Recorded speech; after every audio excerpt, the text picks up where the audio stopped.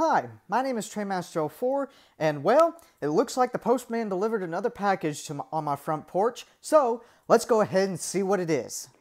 Union Pacific 4014. Do you read me? Over. Roger that.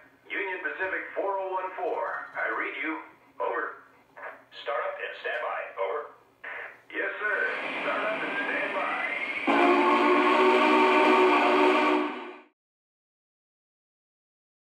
Alrighty, I've got the box on the floor and a knife in my hand as well as the camera in my other hand, so sorry for the camera to be, uh, for moving all up out, so try to do this one-handedly.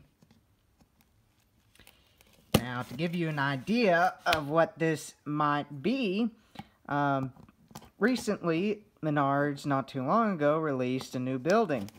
So that ought to give you a hint of possibly what this is going to be.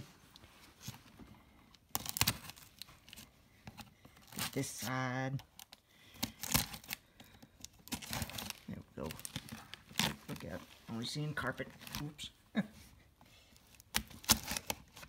kind of hard to do it one-handed. Alrighty. Put the knife down. Open up the flaps. And then voila.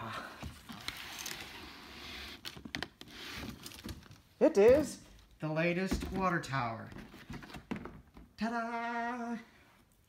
Alrighty, let me get out of let, let me go ahead and get it out of the outer box and then set my camera on its stand and show you what give you a brief showing of what this water tower looks like. Well, here it is, the brand new Cripple Creek water tower from Menards.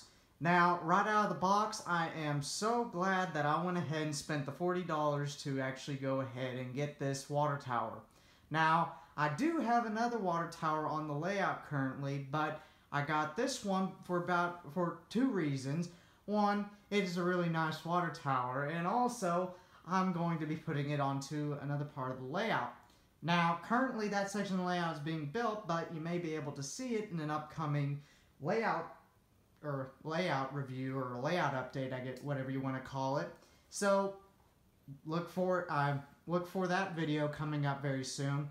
But anyway, I thought I'd make this little video just to give you a sneak peek of this product and also to tell you that I will be doing a product review on it as well as some new other products that have recently been released from Lionel such as the brand new EM1 and the Denver Rio Grande Western paint scheme with the green boiler, and also the Frisco Santa Fe Type Northern, the Meteor, as well as the Santa Fe Blue Goose. So definitely look for those in the near future, and also look for this water tower in the near future as well.